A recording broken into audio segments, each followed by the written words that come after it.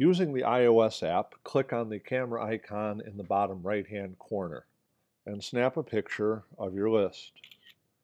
Choose Use Photo, click on the picture, and choose the three dots in the top right-hand corner and pick Grab Image Text. Make any adjustments to your text that you need to make.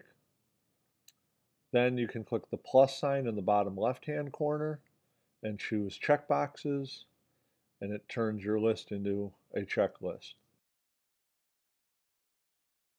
If you'd like, you can click on the picture, choose the three dots in the top right corner again, and click delete, and that will delete the image, leaving you just with your text. As you go through your day, you can check the box, and it will take those items off your list that you've completed, or in this case, purchased. Thanks for watching.